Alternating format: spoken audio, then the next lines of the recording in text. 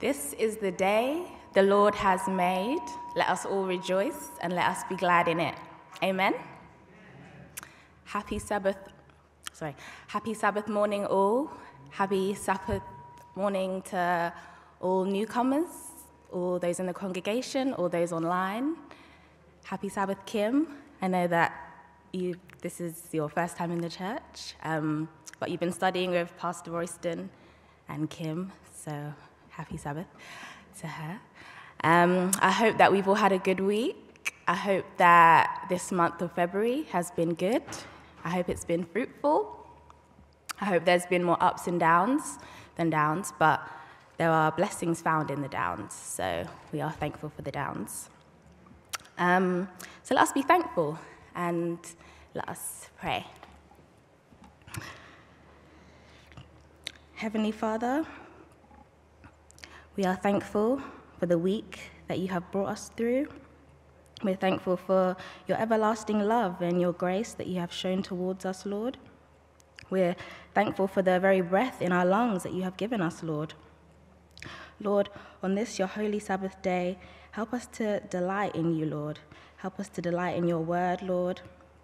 And be with us as we are studying, Lord. Open up our hearts, our minds. Um, open us up, Lord, and pour out your Holy Spirit on us so we can truly see um, and hear the message that you have for us today, Lord. Help us to truly receive it and um, keep it in our hearts, Lord. In your precious and holy name we pray. Amen. Thank you so much, Sister Diane. It's wonderful that we can be together again studying the word of the Lord. I don't know what kind of week you've had. If you've had a tough week, we're grateful that God has brought you through the tough week. If you've had a good week, all praises go to God that He's kept you safe, that you can be here together with us on this, His Sabbath day. And if you've had a celebratory week, whether you've had a birthday anniversary or something else that you're celebrating, I want to praise God again for the goodness that He has given you. This is Croydon Sabbath School panel coming out to you live. Today is the 12th of February, unless you're watching it catch, on catch up, and it's two minutes past 10 um, GMT. So we are going to study God's Word. If you don't have a quarterly or adult study guide, as it's called, you'll see something come up on your screen that can tell you where you can download a copy that you can follow the study today. And if it is your first time tuning in, make sure it's not your last time and be sure to invite somebody to tune in on Sabbath mornings as we study God's Word. It's an interactive study time. We want to hear from you. We want to hear from our church congregation as well. And, and Kim, again, welcome to you as it's your first time. Let's hope we don't disappoint you because you've been watching us online. This is the real thing. So we're glad that you're here with us on this Sabbath morning. As usual, I have a panel with me, but first let me go to our senior pastor, Pastor Royston. Good morning to you, sir. Good morning, Elder Johnny. What a lesson. What a lesson. And I'm, I'm looking forward to the conversations that um, we'll be having in church and those our viewers online. And I'm sure at the end we'll be so inspired that amidst our challenges, amidst our difficulties, we will be able, by the strength of God, as the, as the lesson talked about, and I know we're going to go into it, that is the anchor of our soul. We're going to go into that and explore that. Amen. I can't wait, Elder Johnny. Amen. Thank you. And we also welcome back Elder Claudia Panatescu. Good morning, Elder Claudia.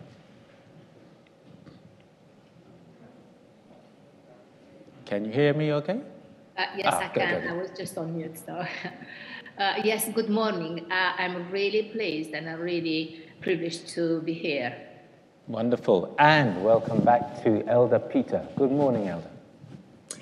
Good morning and Sabbath blessings to all. We have a deep lesson today, as Pastor has said, and there'll be a lot that we could unfold. Let's allow the Holy Spirit to enable us to do that. Amen. So let's welcome our radio listeners. I left you till last because you are special to us as well. So welcome to those listening on Adventist radio and those listening on Life Radio. We want to hear from everyone. So if you're on YouTube or live stream, just post your questions or your comments in the chat For those of you that are on Adventist Radio London, get in touch in the normal way. Text um, your comment to 8228, uh, leave a space, put the word hope, and then put in your comments. You can also send an email to studio at adventistradio.london. And on Life Radio, your email address is studio at liferadio.uk.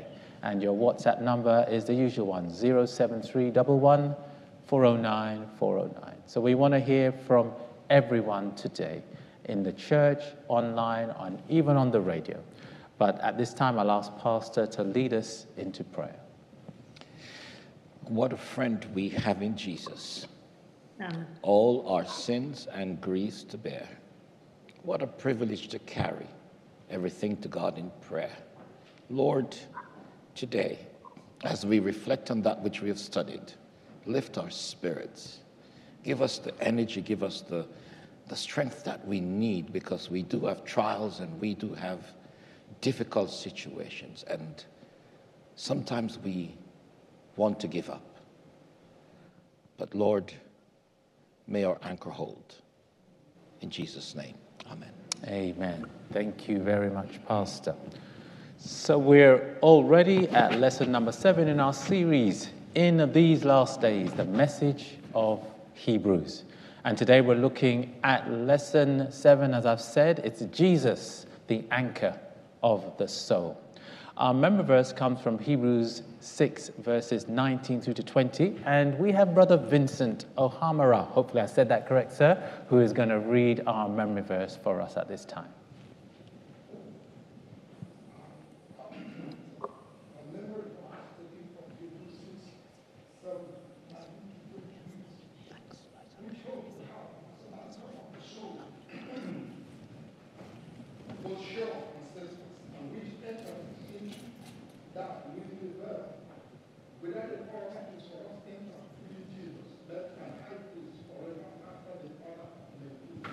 Thank you very much, sir. For those of you that didn't hear that, we're going to be picking up the memory verse a bit later on, but thank you very much. And we're going to press on with our study for this week. Now, Pastor, even the most upbeat persons among us, like your good self, can face discourage, discouragement through life's trials. Tell us, what would your counsel to the congregation, to the viewers, to the listeners tuning in this morning or, or wherever they are listening?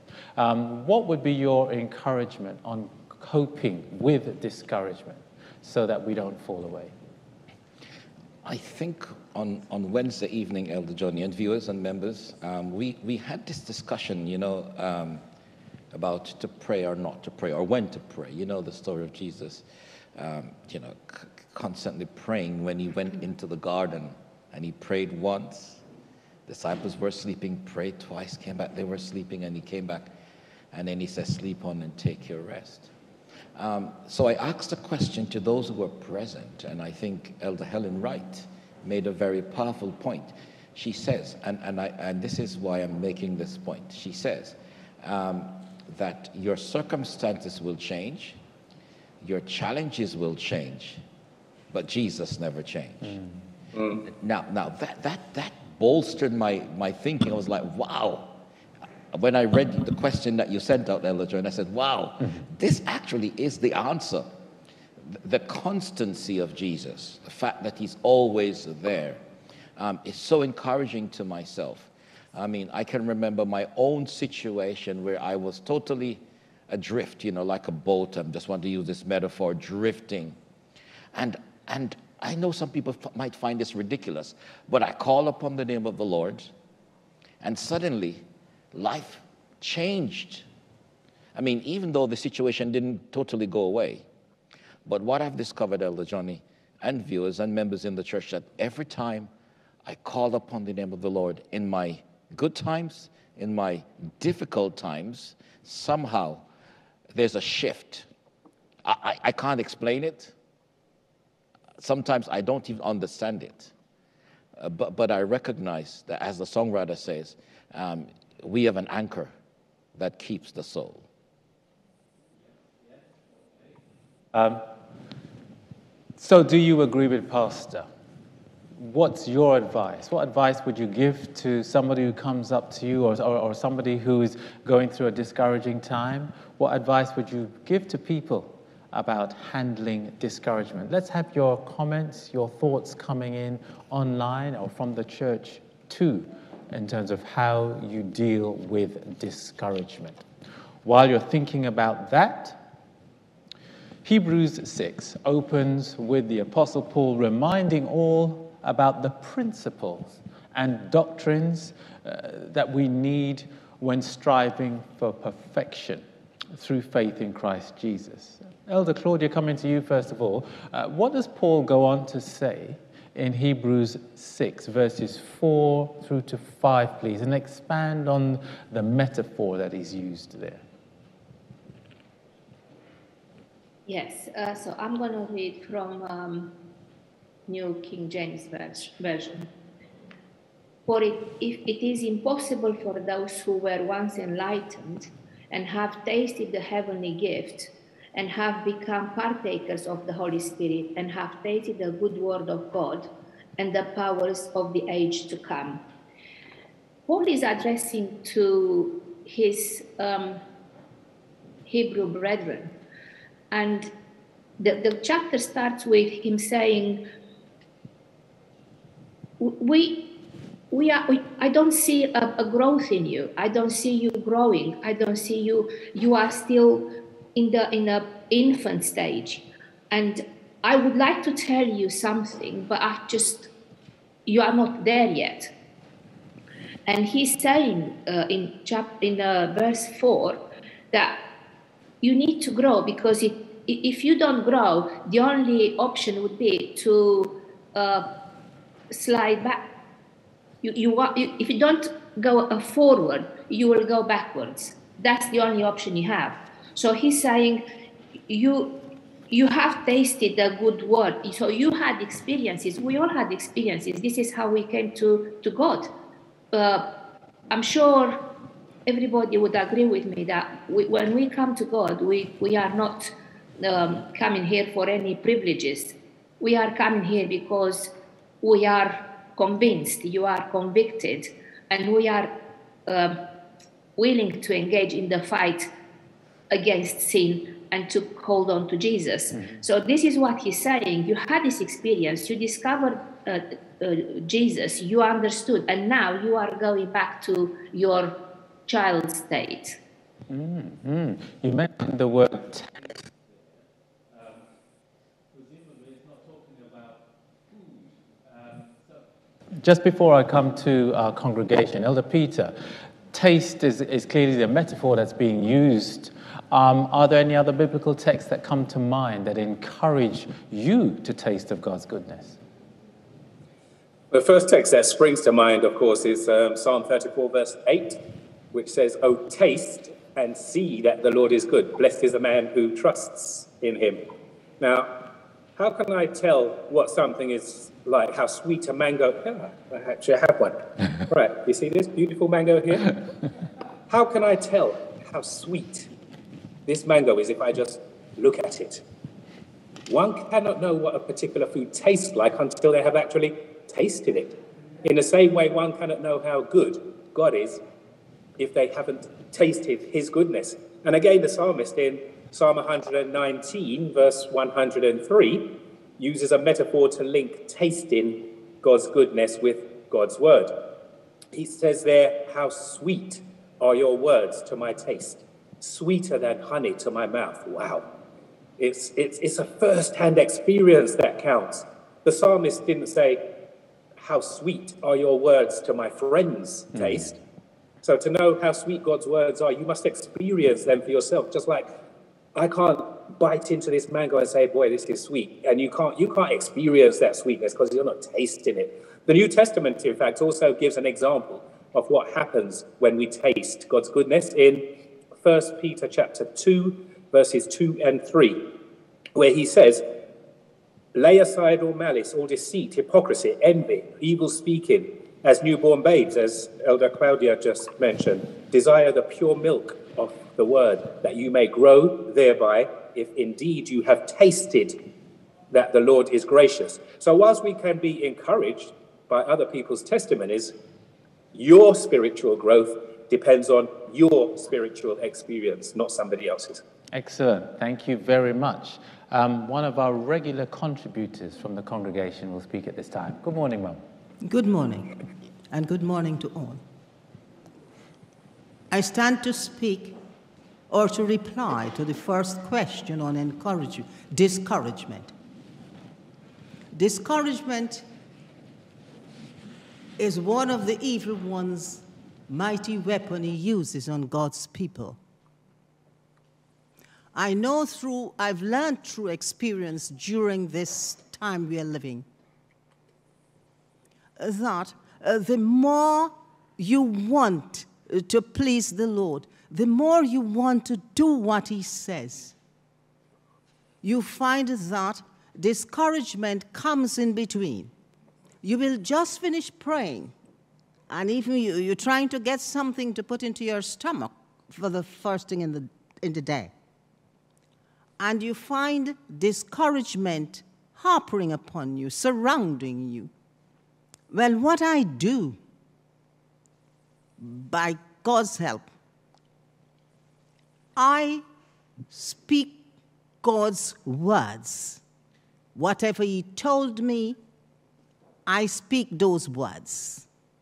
And I have learned that praying back God's word to Him, especially His precious promises that He gives to you, it is not only of vital importance, but also it does good for your very being.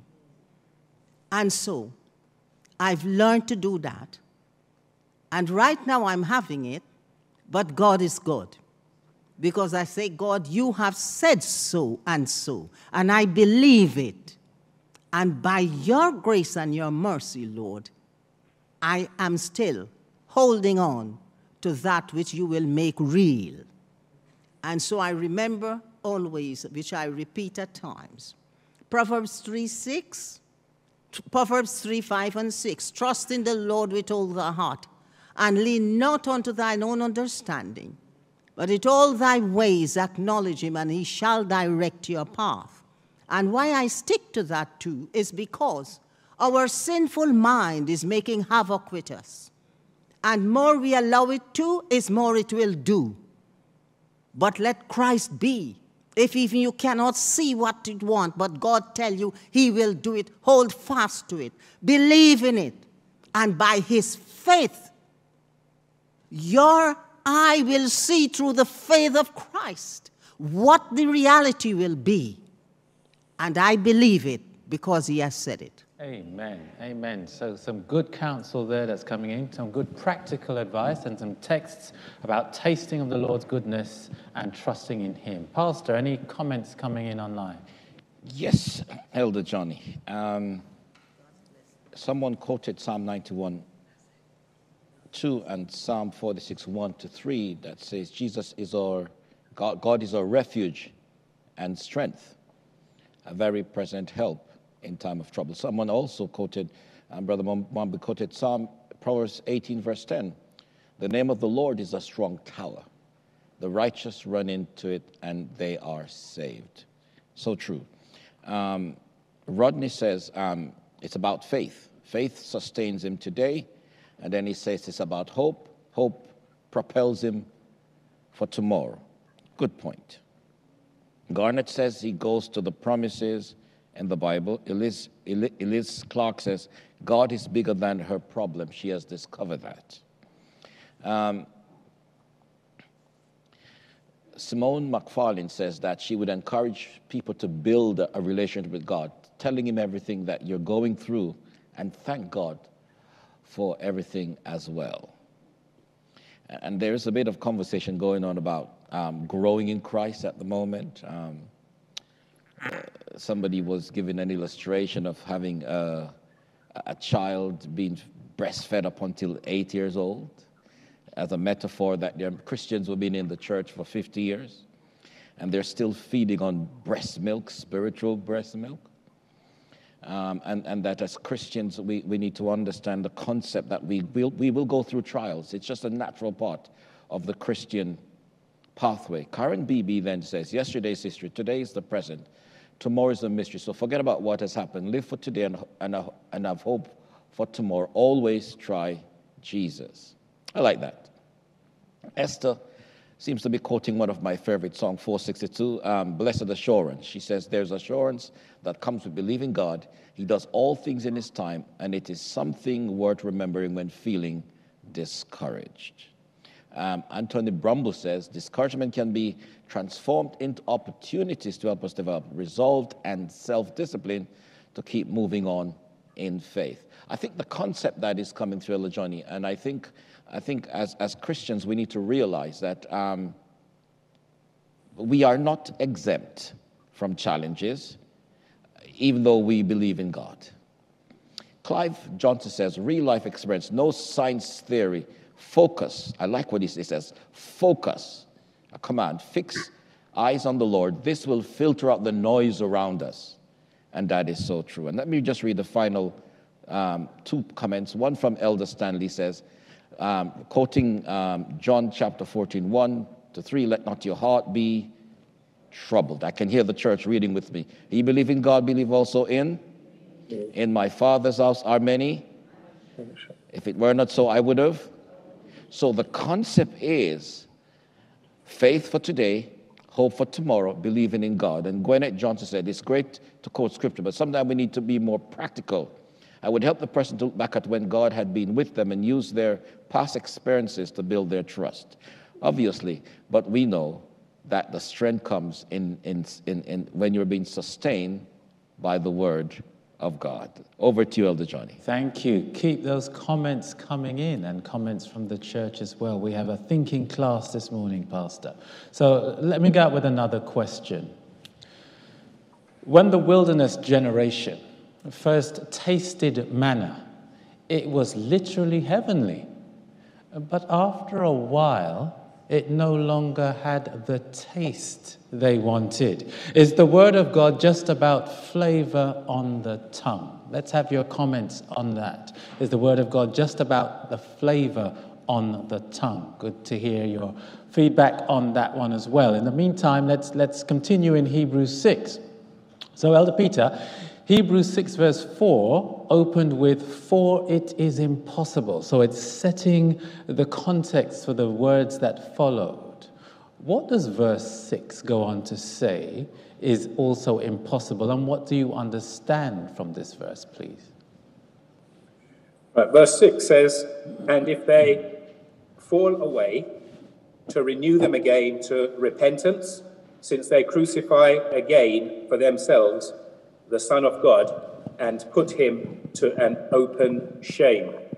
Now, there's a lot in, in that text alone, but I need to refer, if I'm allowed to, to back to verses 4 and 5, sure. where um, Elder Claudia read earlier, because this text, verse 6, implies that the person being spoken of has already known God.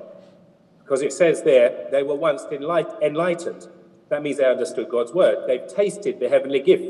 That means they've had an, a personal experience of God's goodness. They've become partakers of the Holy Spirit.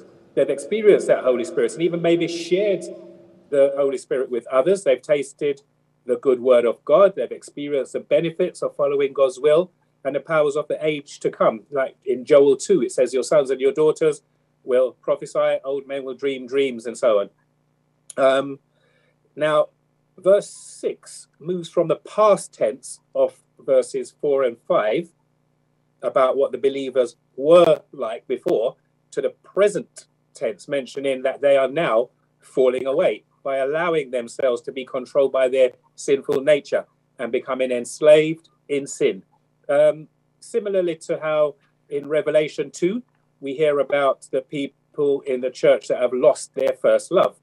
Now, some people do fall away, but they recognize those faults further down the line. And for those people, they, they are actually forgiven, like um, David in the Bible, Peter in the Bible. But these ones being spoken about in verse 6, however, they're the ones that further distance themselves from God and effectively crucify Christ again by negating that sacrifice that he made on their behalf.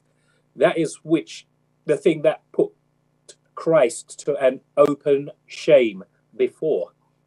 So, this ongoing rejection of Christ by the people that were once enlightened actually mocks Christ. When we think of crucifying Jesus, Jesus, when he was crucified, he was immobilized. He couldn't move. It made him inactive and unable to do anything. So for these people, Jesus is unable to do anything because they're not allowing him to. They're mocking him. And it's creating such a gap that m- makes the experience of knowing Christ unworkable to the extent that a relationship with him is no longer possible. Deep, deep thoughts and, and, and good comparison coming through there. Um, so, Elder Claudia, how do Matthew 16:24 and Galatians 2:20 shed further light on what Elder Peter has just shared there, please? Yes, um, I will um, read again from New King James Version. Um, so Matthew 16:24 is Jesus who said to his disciples, "If anyone desires to come after me, let him deny himself and take up his cross and follow me." And in Galatians 2:20, Paul is is um, basically showing the application of this, and he says, "I have been crucified with Christ. Christ." It is no longer I who live, but Christ lives in me. And the life which I now live in the flesh, I live by faith in the Son of God, who loved me and gave himself for me. So, is, is this um, desire of us to accept Jesus in our life and we we need to accept Jesus in our life um, as a king.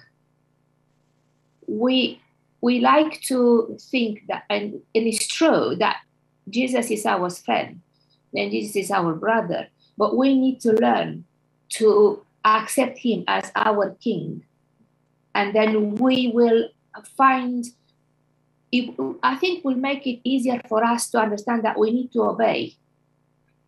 And by him being our brother and our our friend he would help us to go through all the trials and tribulations we might go through.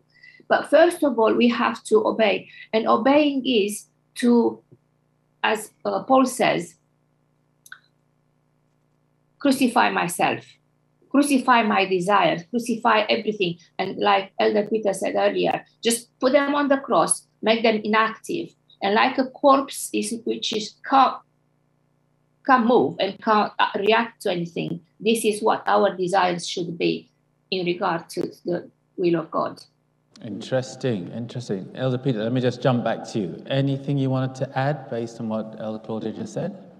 Yeah, based on those two texts and Elder Claudia's good exposition of them, I just think of something I heard recently. It says that when we look at ourselves, we could see every reason why we can't make it.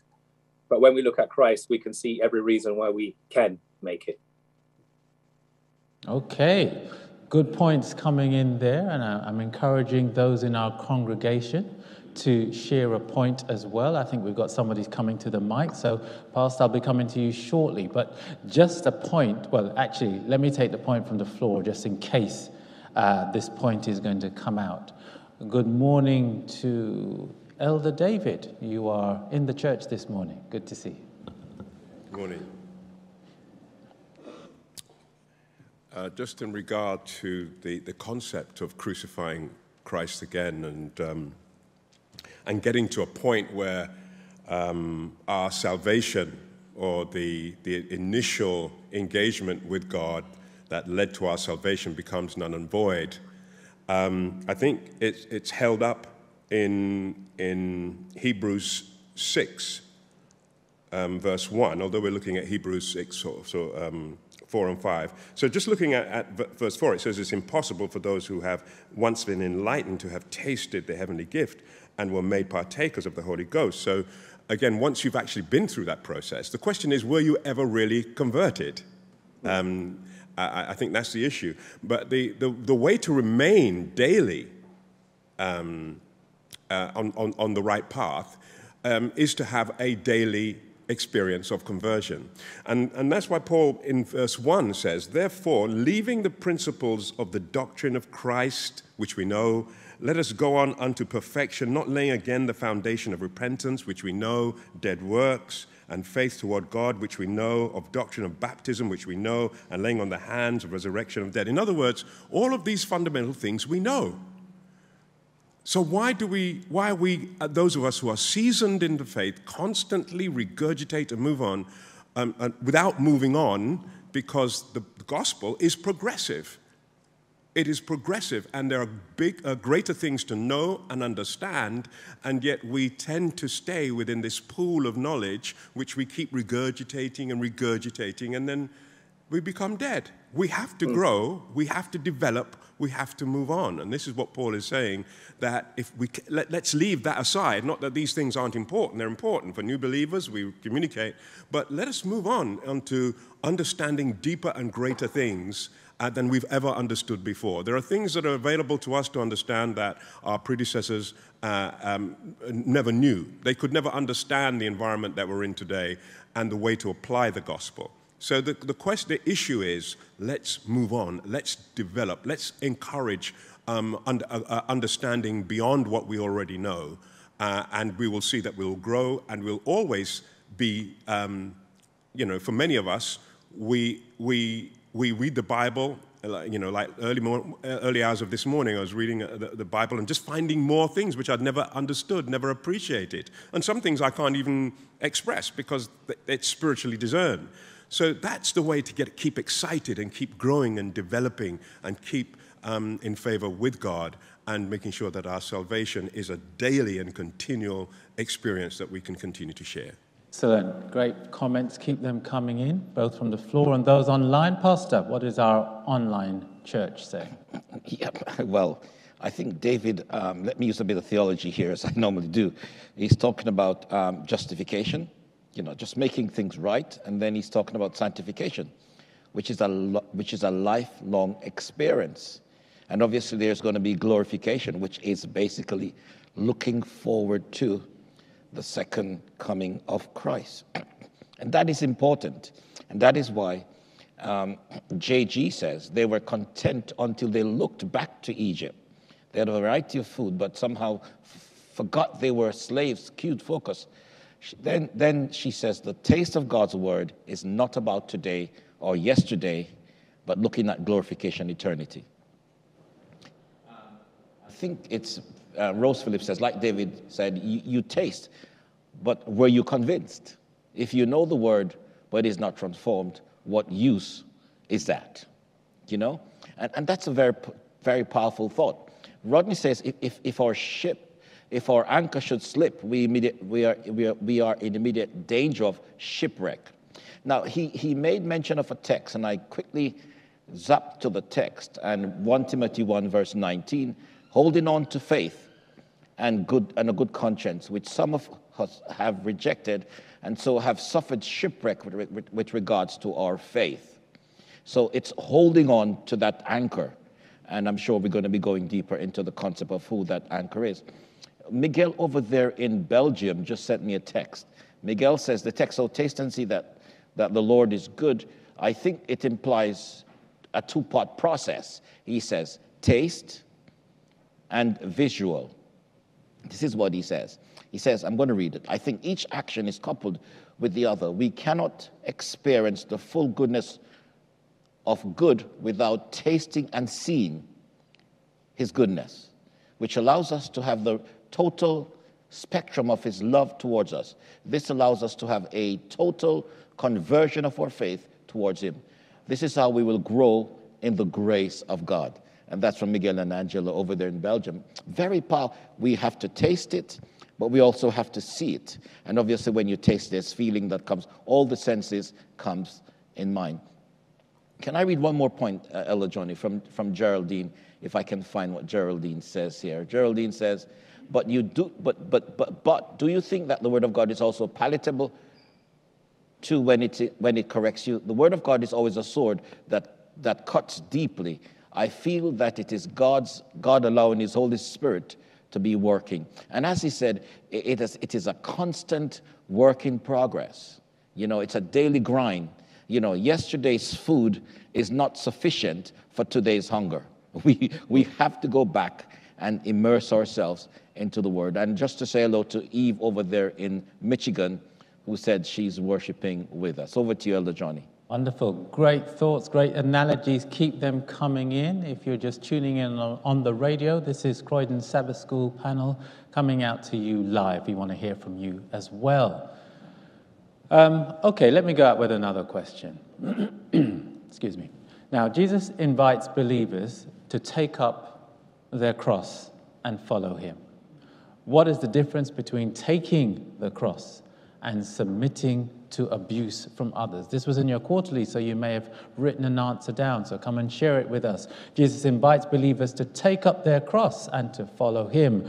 What is the difference between taking the cross and submitting to abuse from others? Be good to hear your comments and feedback on that.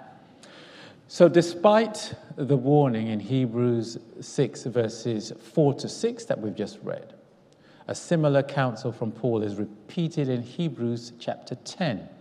Elder Claudia, if you could just read for us, please, Hebrews 10, verses 26 through to 29, and expand on the different circumstances of unforgiveness that are mentioned here. Hebrews 10, 26 through to 29, please.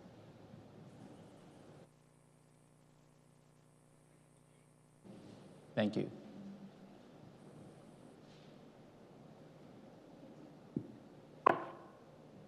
Um, yes, I will read from New uh, International Version.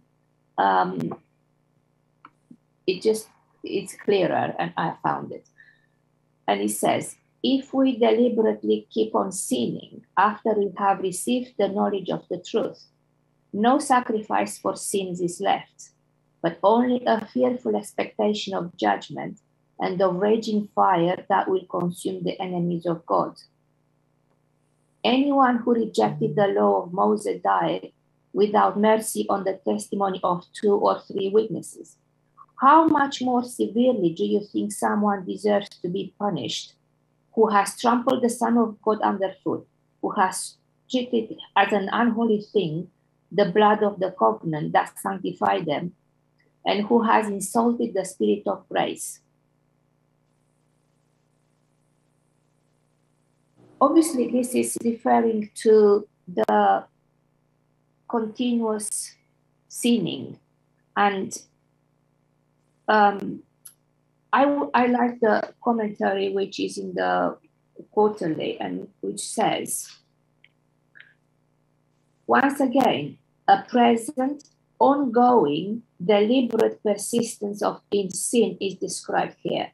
So this is not talking about uh, one off when we sleep and then we repent, like Elder Pete mentioned, uh, uh, David and Peter, and uh, they both had at that time a, a, a, choice to carry on in their sin or to repent and uh, leave the sin. But they chose to repent and leave sin alone and follow Jesus. And this is what it says in here that uh, some people have trampled underfoot the Son of God and have profaned the blood of the covenant by which he was sanctified and outraged the Spirit of grace. Their actions portray Jesus as an enemy with his blood devoid of his saving power. These individuals arrogantly insult and spurn God's offer of grace such people do not even want to repent. And this is the difference. So if you are if one person goes to that point when they don't even want to repent, this is the, the stage which is addressed in this in this um, uh, uh, text because they are demonstrating an attitude of open defiance against Christ and his work. Thus, repentance is impossible. Mm. Possible. Um, I mean, the, the, the lesson title for that day was No Sacrifice for Sins Left. Now, Elder Peter, when the example of a remnant a leftover is mentioned in the Bible, it's usually something positive.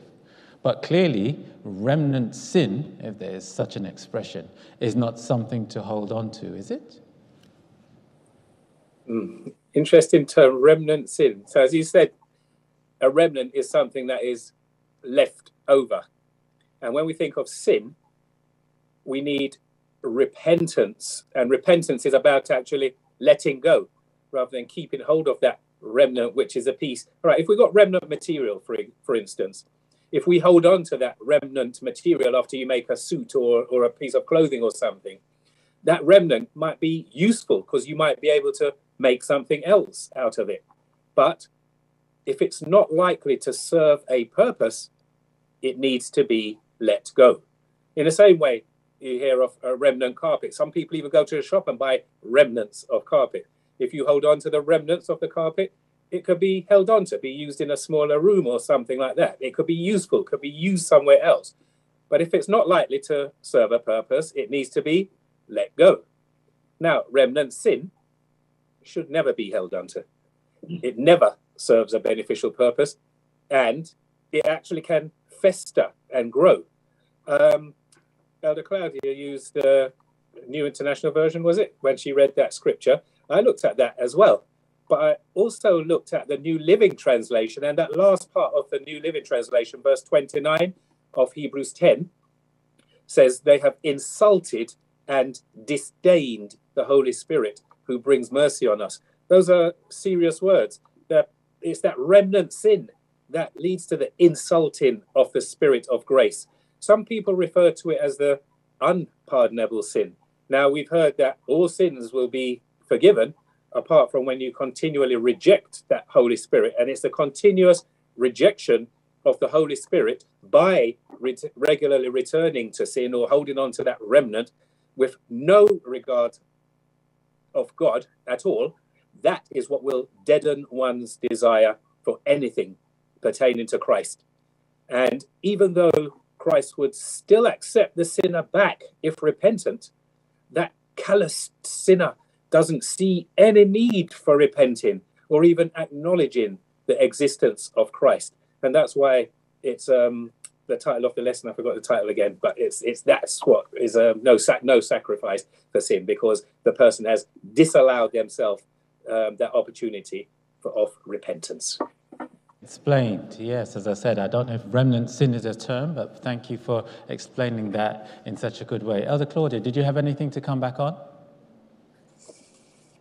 Maybe just to um, stress that uh, it is not Jesus who cannot forgive.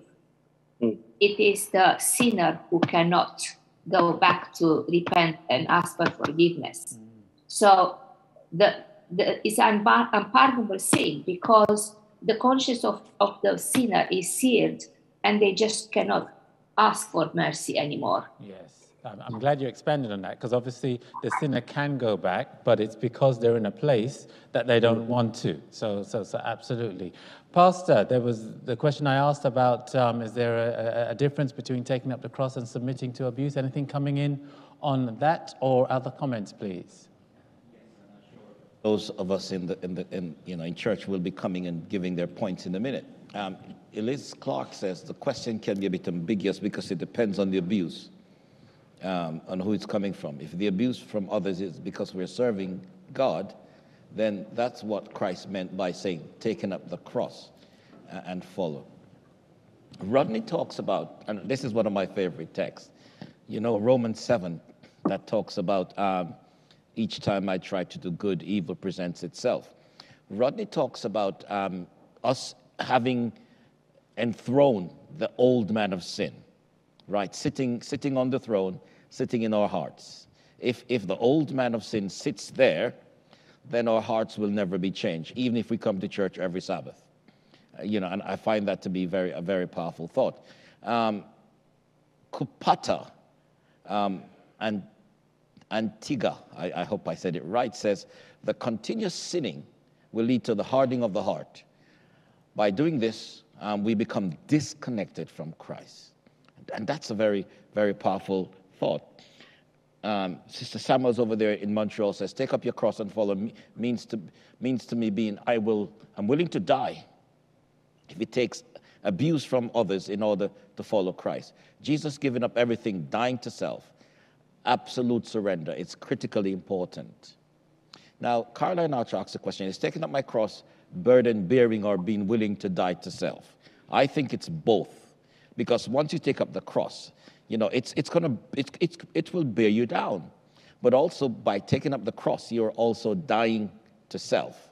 And without dying to self, you cannot, you cannot serve Christ mm. because it is very important that both you have, once you, when you take up the cross, Elder Johnny, the cross is a heavy, it's That's a heavy thing. That's right. Mm. You know, Christ actually needed somebody to help him to actually carry his cross. Mm. And that is why we need Christ to help us to carry our cross.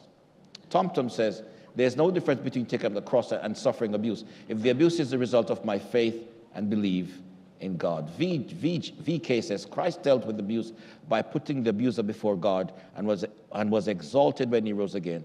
This is one of the ways how we can take up our cross. And I like that because sometimes we want to lash out or we want to respond to those who are abusing us. But here, here VK saying, listen to me, one of the best ways to take up the cross and, and, and being abused is right, taking those individuals before the throne of grace. And didn't Jesus do that?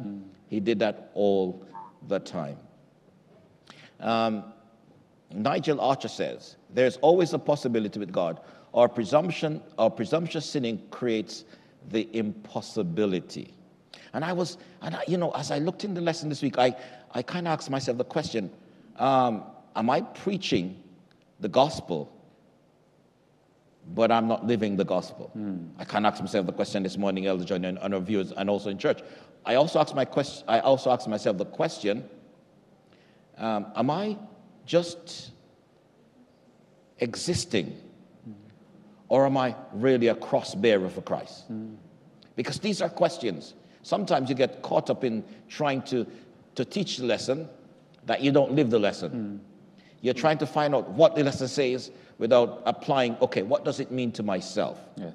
And I think the point is that we must be very cautious and careful that as Seventh day Adventist Christians and non Adventists who are listening to us online, that the life you live is a reflection of the life you will live when Christ comes. Amen. That's very important. Over to you, Elder John. Amen. Good, good points there. I mean, my, my mind went on Christian in Pilgrim's Progress again. It's a, uh, until he had the understanding that he had to put down his burden, but we still need to carry it across. Anyway, let me not speak. Elder Stanley, good to see you. Um, you have a point for us.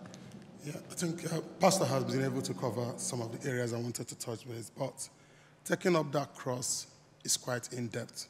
So, what I want to add there is if you want to take up the cross, one of the things we have to consider it means losing some of your closest friends for Jesus. It means alienating some, some of the family that won't allow you to worship God the way you want.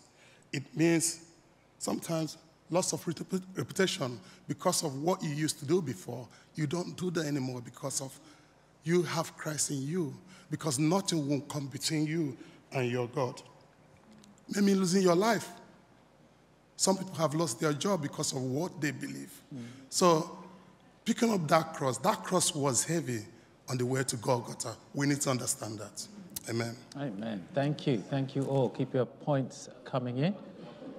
Go ahead, Pastor. But um, somebody says here, Geraldine McKnight says, taking up the cross, I feel ultimately starts in our mind. I think Paul says, Paul talks about being crucified with Christ. And Paul also talks about let this mind be you which was in Christ Jesus. Now, here's a question that somebody asks, and I think it's important that we answer this question. That's George, George, Georgia Will, Williamson. She says, How can one overcome sin? Because there's some of us who've been in the church for however long, and we're still behaving the same way we're, we're behaving when we came into the church.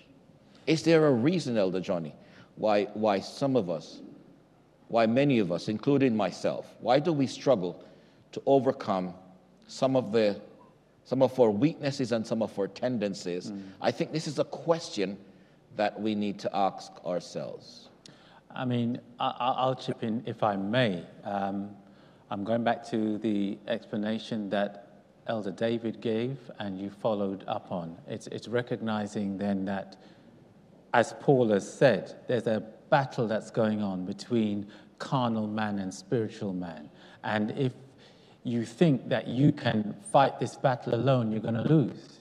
And it's recognizing that it's, it's, it's a daily, or if you want to break it down, it's recognizing it's an hourly thing that you've got to be committed each hour because you know that this struggle is coming along. You know, you, you, you could have a good mind, you could be leaving church and you've been uplifted, and then some driver cuts you up and you're ready to, uh, you're ready to say something that you're not supposed to.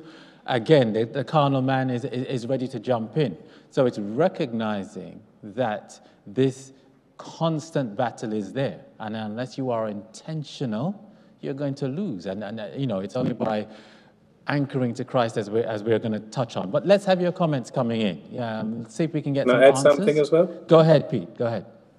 Yeah. Um, in, in, equally to what you're, you're saying, sometimes we think of how we were in our relationship with Christ in the past. As we mentioned earlier in the lesson, the people were grounded in, in Christ and so on. And it's, it's that looking at the past that sometimes makes us fall away because we think we're always in a position where we used to be. But we need to think of our present religious experience because that is what keeps us keeps us grounded. We can't just harp on about the past.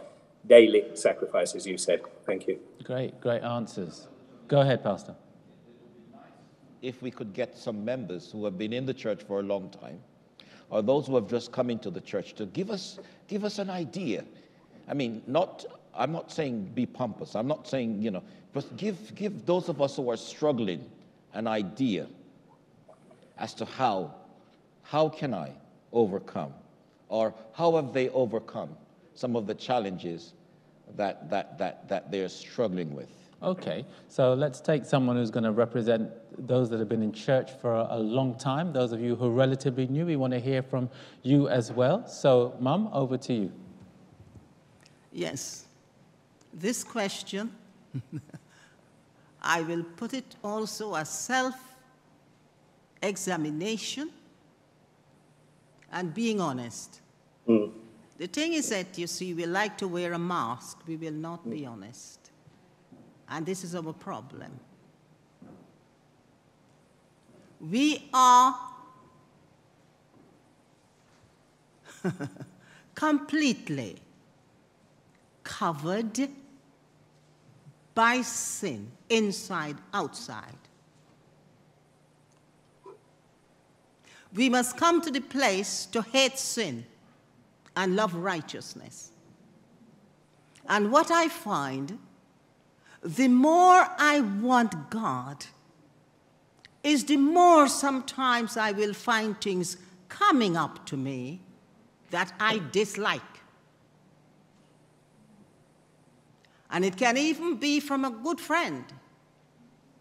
Many times you find these things hit you so hard.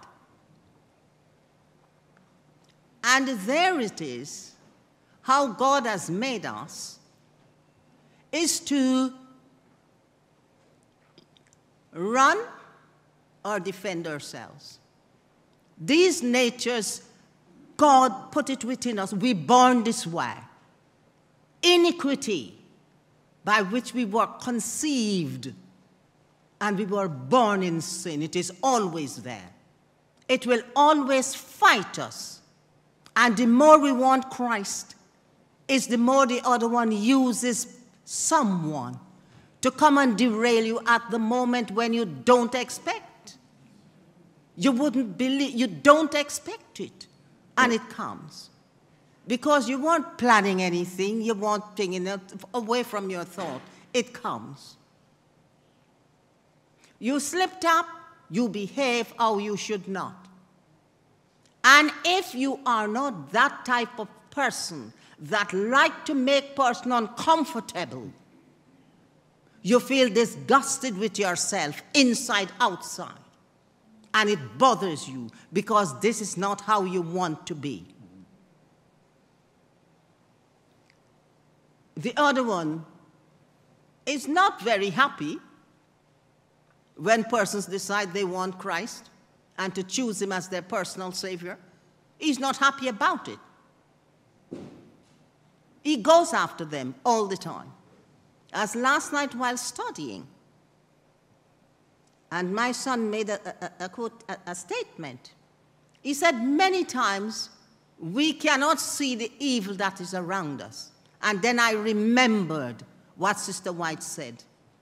If only God could have removed the veil from our eyes, just release it for a little while, for us to see what is happening about us, we will humble ourselves before Him and ask Him to help.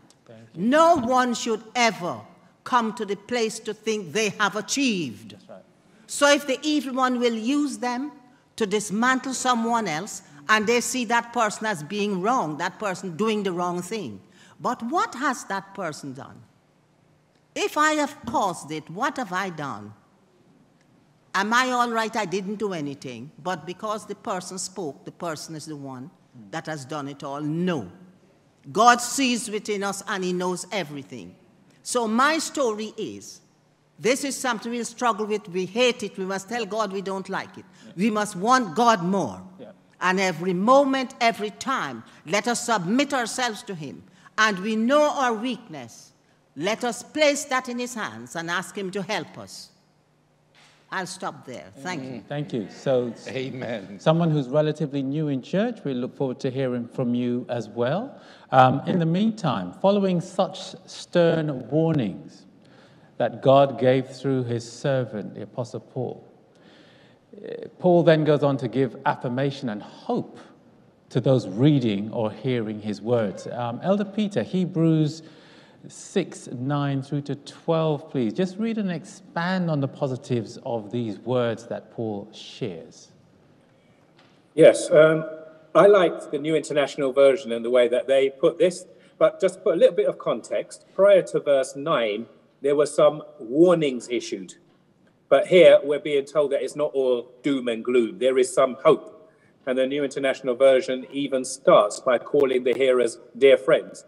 It reads as follows Hebrews 6 9 to 12. Even though we speak like this, dear friends, we are convinced of better things in your case, the things that have to do with salvation. And then the chapter continues with words of encouragement and recognition. It says in verse 10 God is not unjust, He will not forget your work and the love you have shown Him as you have helped His people and continue to help them. Verse 11, we want each of you to show this same diligence to the very end so that what you hope for may be fully realized.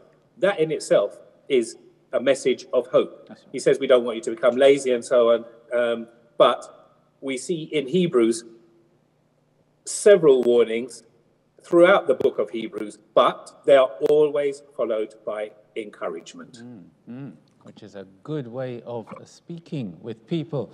Um, Elder Claudia, now I'm sure you've had to utilize faith and patience at work and maybe even church too. No names need to be mentioned, please. Um, now, who is mentioned as a good example in verses 13 through to 15 about patience? Um, that's the same chapter, Hebrews 6, please. So again, from uh, uh, New International Version, um, when God made His promise to Abraham, since there was no greater, since no there was no one greater for him to swear by, he swore by himself, saying, "I will surely bless you and give you many descendants." And so, after waiting patiently, Abraham received what was promised. It's true. Um, as, as Christians, we need to have patience. And I think that people who have patience, they, that is because they have faith. If you don't know that you are going to get on the bus, you won't join the queue. So you you will put yourself in the queue so you know God will answer. And this can be experienced on an everyday basis. On a patience, I'm not probably the best person to talk about patients. I don't, I, I'm fighting for this. but I'm struggling and hopefully I'll get there one day. Because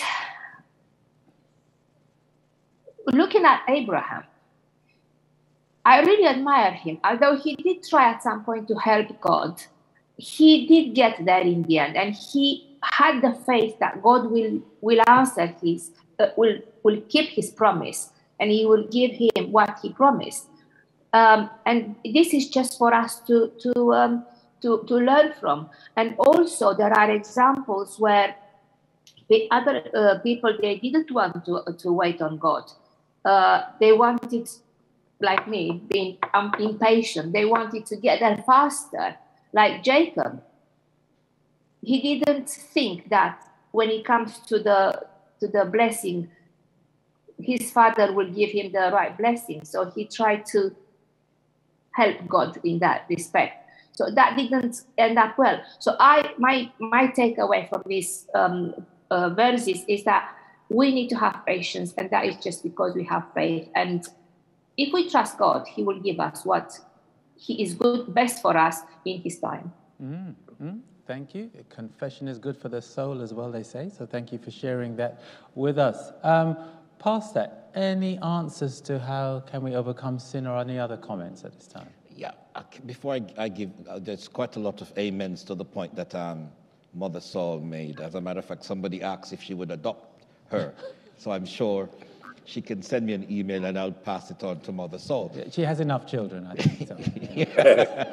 not another children. No, okay, right, not another child. Okay, but here's some points people are saying. Um, you know, in terms of overcoming sin, pray, read the word, worship.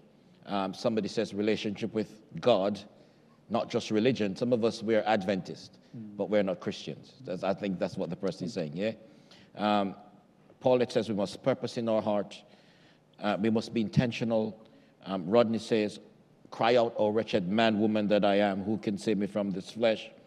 Brother member says, we must fully surrender. Clive says, learn to really, really love the Lord, which is what um, Mother Saul says. love the Lord so much that you hate sin mm.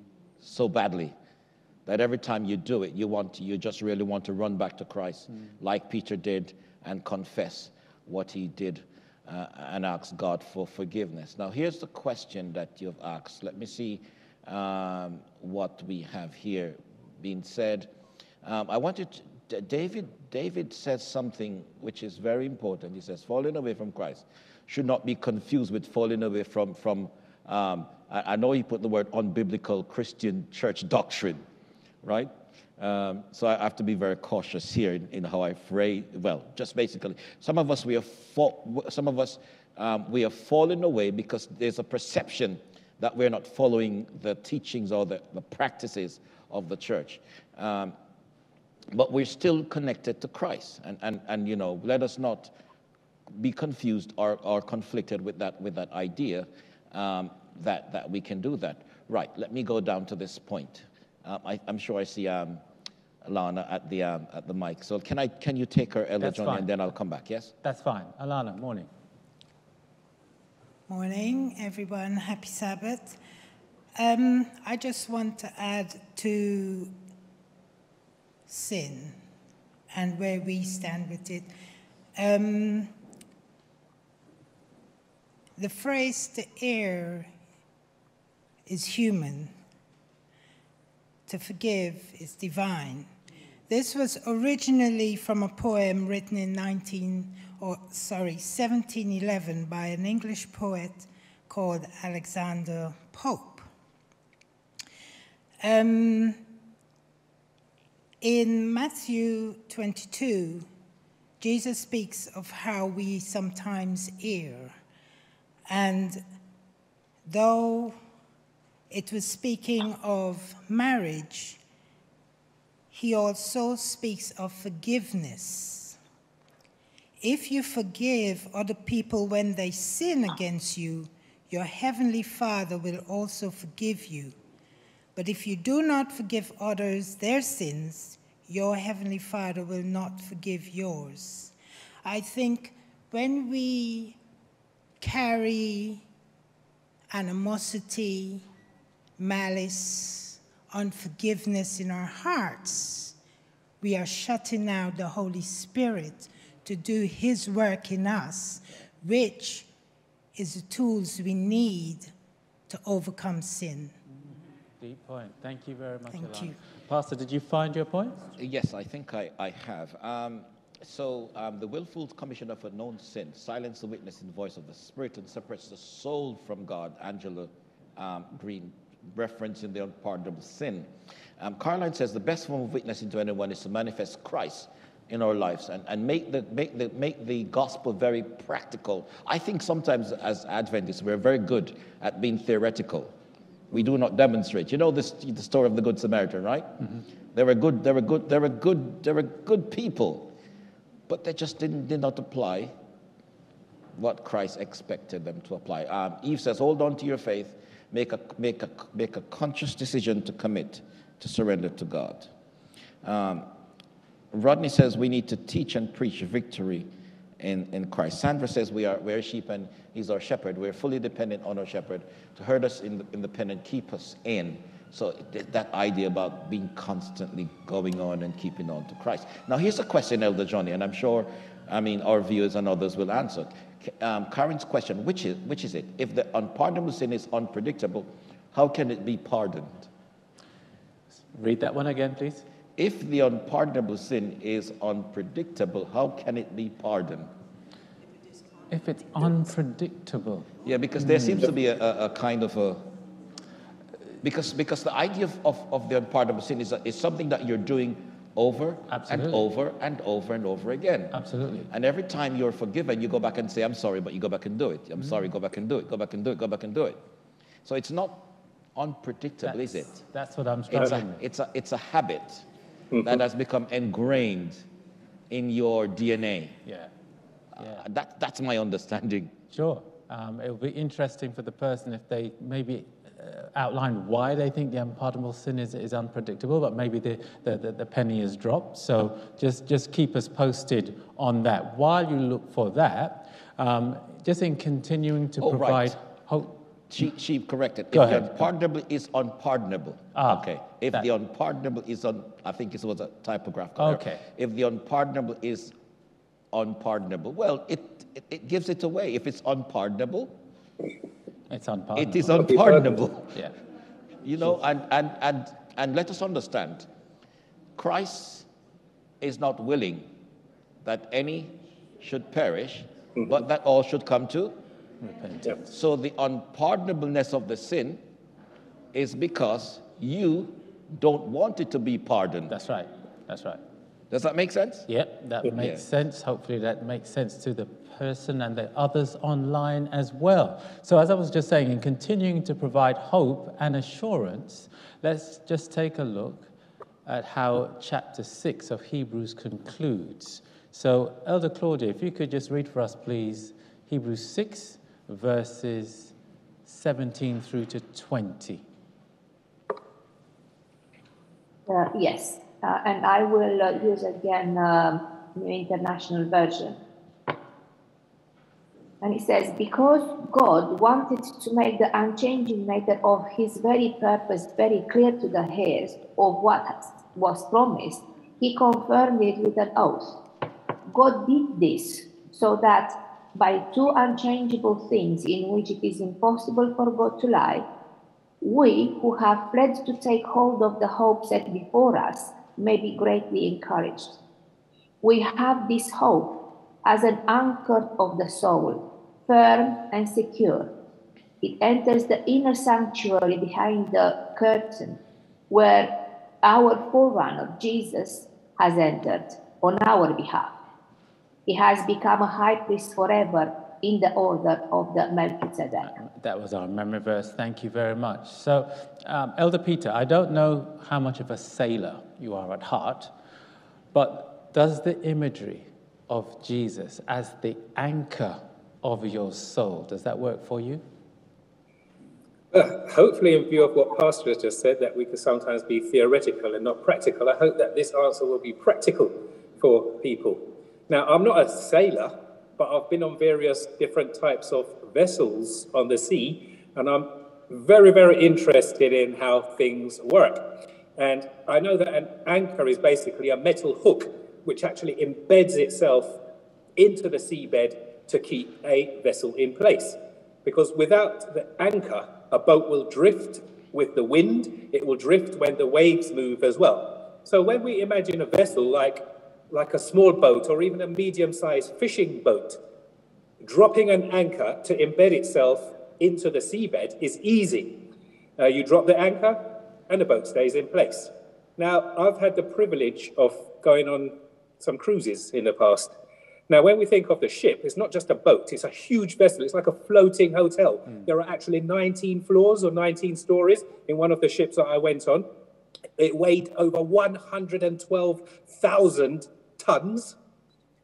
Over 3,000 passengers were on that, on that ship and 1,200 crew. And when we arrived at a port, I looked over and I was shocked. Do you know what I saw? To, to keep the ship in place, they dropped an anchor to keep this massive vessel in place. One anchor they, they dropped to keep it in place. Now, if Jesus is the anchor of our soul, imagine how spiritual, spiritually secure we will be. If our soul is secured in Jesus, we'll avoid being tossed about by the winds and the waves of the different doctrines that people are throwing at us, as, as Ephesians 4, verse 14 highlights. Now, the key element of the text that Elder Claudia just read in Hebrews 6, verses 17 to 20, are that God made an oath to make us heirs of what was promised and gave us Jesus as our high priest. Now, because it's impossible for God to lie, we can therefore conclude that the anchor to our soul is that oath that Jesus made with us. Furthermore, that anchor is within the veil, which is where Jesus plays out the high priest role. And that veil, um, the high priest role in that veil, is also where the Father is, the government of the universe. So if we've got our anchor secured in the one who governs the universe, come on, where, where can we drift to? Mm-hmm. We're secure. Mm-hmm. Amen. Amen. Amen. That's powerful. Um, Elder Claudia, I don't know. Have you got anything to add to that?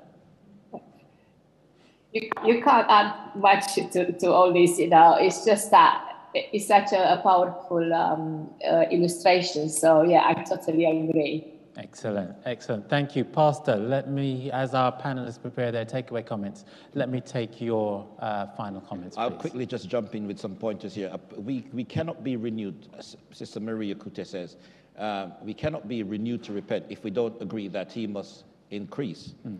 but I must decrease. Um, Brother Mwembe says, it is scary to know that we can reach to a point of no return. Mm. And that is very scary. Artful Dodger, welcome. We need to be careful as to what he said. Uh, well, okay, right, talking about people misquoting the spirit of prophecy there. Um, Sandra says, it is only 6, 6 a.m. where I live, uh, but, I woke, but I woke up early to come online to ask for prayer on behalf of my niece, Karina. She's urgently in need of divine intervention. Please pray for her. Can we just pause a second, Elder Johnny, quickly and just pray for this Go ahead. person here? Um, Father God, we, we put um, Sandra's niece, um, Karina, before you. She needs divine intervention. And Lord, we pray right now that your Holy Spirit will reach out. You are still the balm in Gilead. You have the power to heal not just our sins, but our physical infirmities. So, right now, Father God, reach out to Karina, and Lord, may your will be done in her life. In your name we pray. Amen. Amen. Amen. Um, so, so, so, so here's a here's a point, Elder Johnny, that I want to make. The Christian life is, Erlene says, Erlina says, the Christian life is a struggle. None of us, none of us are perfect, but, but as a child who is now learning to walk, when we fall down, no matter how hard we fall, we can get get up because God is with us. And my, my thought about this is read the text. Notice where the anchor is fastened, it is not on the seabed. Mm. The text, and it blew me away when I read it. The, the, it, says, it says the anchor is fastened, wait for this, to the throne of God. That's right. Now read it again. You get it. You probably won't get it now, but tonight you like you you like, wow. Not only is Jesus pleading on my behalf, but God has fastened the anchor that Jesus has to his throne. Wow. Excellent. Thank you. Um, we're running right out of time. Elder Claudia, what do you want to lead us, leave us with? I um, I will quote a, a, a, a paragraph from um, Ellen White from Steps to Christ, and he says, "Our growth in grace, our joy, our usefulness, all depend upon our union with Christ. It is by communion with Him daily, hourly, by abiding in Him that we are to grow in grace. He is not only the author, but the finisher of our faith. It is Christ first and last and always. He is to be with us not only at the beginning and at the end of our course, but at every step of the way. Like someone who, uh, I want to add this that someone mentioned uh, these um, principles, and I was really impressed. Uh, and it says that there are three legs of to to be um, land up in, in a Christian journey, and that is reading the word, which you have to do every day, uh, our food, uh, prayer, again, continuous prayer, and the third one would be serving to others. By serving others, uh, we will be able to practice what we read in the morning and what we pray during the day. Amen. Thank you very much. And Elder Peter.